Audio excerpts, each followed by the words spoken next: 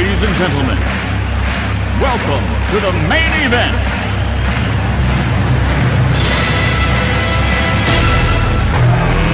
Let's get ready to rumble! Y'all ready for this? Hi everybody, it's Doreen and I'm back today with another card and this is another sympathy card for one of my co-workers whose wife has passed away. So today we won't be using the silhouette or the Cricut.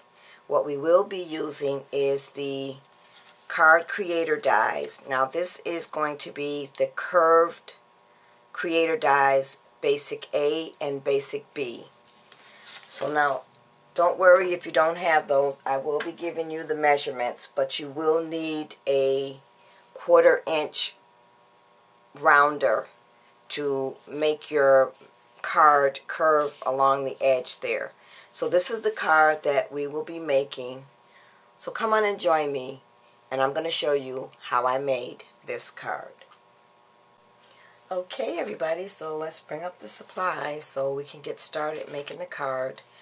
So now this card measures five and a half by eight and a half and I take it and scored it in half to make it a five and a half by four and a quarter inch card. The other thing that I've gone ahead and done is I've gone ahead and taken my We Are Memory Keepers corner chopper and I'm using the quarter inch side and I've gone all the way around to round out my corners. So now we're ready to start adding our layers and as I said we will be using the Spellbinder dies and this time we're going to be using the curved basic A and the curved basic B. So don't worry if you don't have these. I'm going to give you the measurements. So now, my first layer, or my bottom layer, okay, the size of this is 4 and an eighth by 4 and an eighth by 5 and 3 eighths. And this is the Card Creator Curved letter A1. And I label mine, so this would be the largest size and that's going to lay right here. So I'm going to go ahead and add this. I'm not adding any ribbon so we can on this layer so we can go ahead and tape this down. Now this paper is from this paper pack by DCWV it's called the linen closet mat stack. So if you are going to make this and you don't have the spellbinder dies what you'll have to do is after you do your measuring you'll have to um, if you have a corner chopper, you're going to have to round your corners all the way around to get the correct measurement for it to go on the card. So we'll get our tape on here. I'm using the ATG gun. Put my tape down. And I've opened up my card and I'm just going to go ahead and lay this down.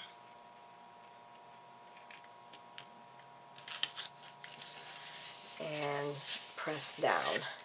So now I'm ready to add my next layer and my next layer is from the curved letter B and this measures 5 and an eighth by 3 and 7 eighths. And once again you'll curve your edges.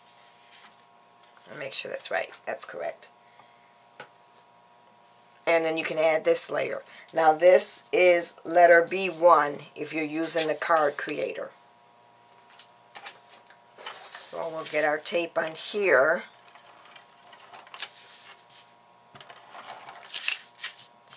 All the way around and then we can add this layer to our card.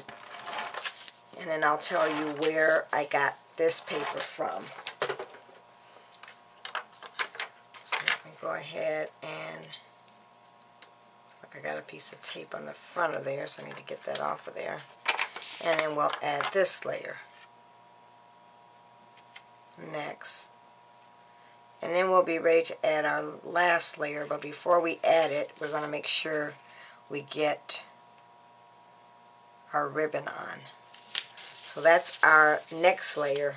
And then for the last layer, well, let me tell you first where this paper came from. This came from this paper stack. And this is the Antique Dots, and it's by My Mind's Eye. So it looks like that. And then our top layer is from a Paper Studio pack called the Classics. So now with the top layer, we're going to go back to our A2 Spellbinder die. And this one measures 4 and 7 eighths by 3 and 5 eighths.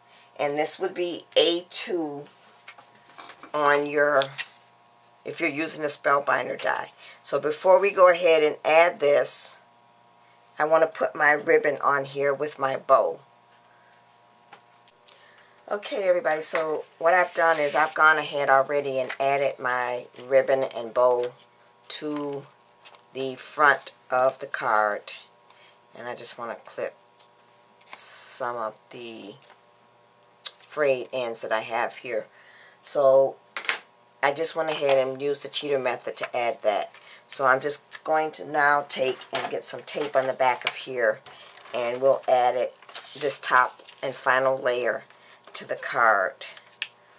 Now I have to be careful because I'm going over that bow that I've put on there. And I also want to make sure this doesn't come off. So make sure I get tape all the way on my edges. And then I'll just run some across here. And then we'll add the top layer. So I'm going to open up my card and I'm going to just add my top layer down.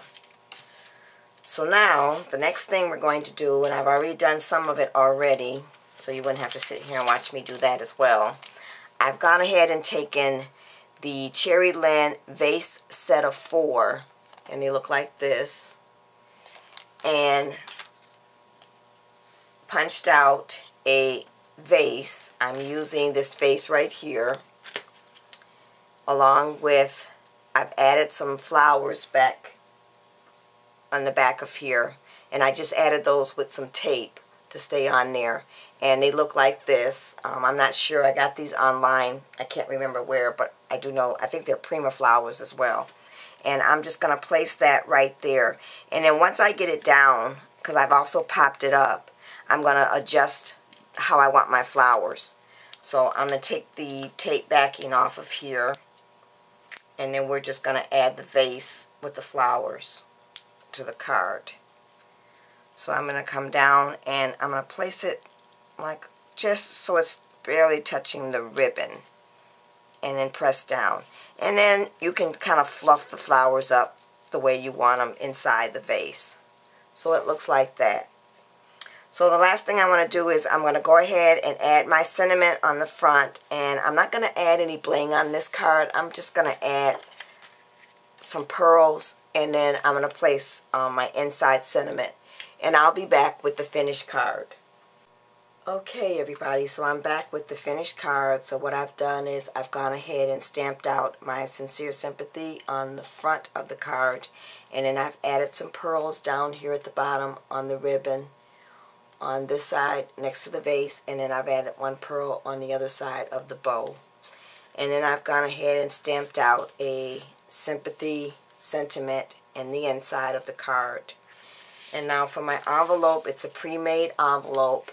So I've just gone ahead and stamped out with sincere sympathy and it came with the flowers and then I took my Yasutomo watercolor paints and painted the flowers and then I've added a butterfly that I've punched out with the Cheery Lynn dies.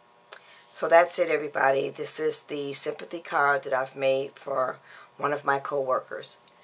Thanks for watching everybody. Bye.